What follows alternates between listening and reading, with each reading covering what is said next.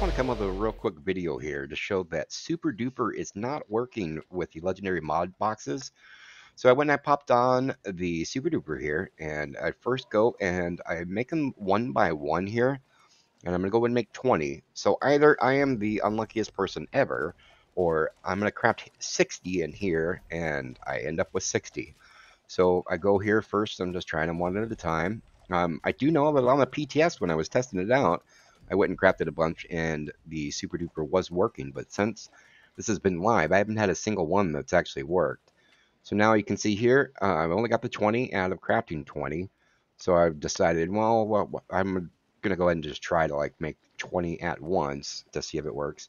I know somebody in the comments, uh, a couple people said that they are pretty sure that they got one. I know somebody had said that they had crafted 9 and they when they looked in their bags they had 10. I'm assuming they just had an extra one in their bags.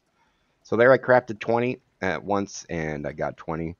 And just for just for science, I went here and I crafted another 20 one at a time and they didn't work either.